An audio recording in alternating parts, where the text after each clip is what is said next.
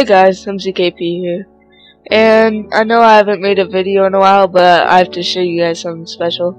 Today I have been making a mini gap mini game map with some of my friends and I wanted you guys to see it to see if you like it and if you want to play this map with your friends or anything just send me a friend request or a message I will gladly gladly invite you guys and I might put it up for download sometime soon when I finish it. So first, here's where you're supposed to spawn. If you don't, there's fence gates and stuff to get in. As you can see, there's a lot of mini games with different colored wool showing you the pass and stuff. And um, the first mini game I'll be showing is TNT Cannon, which I it's not really a mini game. It's just if you like don't have time and you already died or something, do another mini game.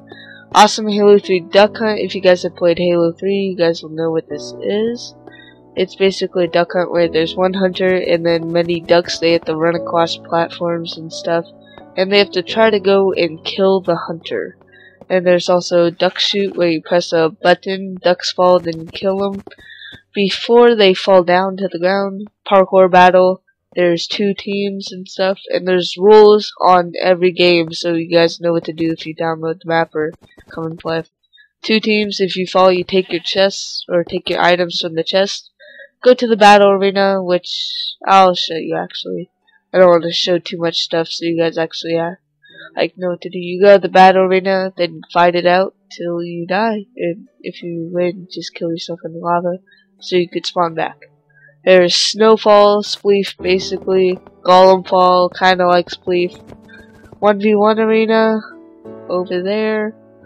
There is a four stage parkour map right here. One, two, three, four. If you guys don't know how to count, I'm kidding.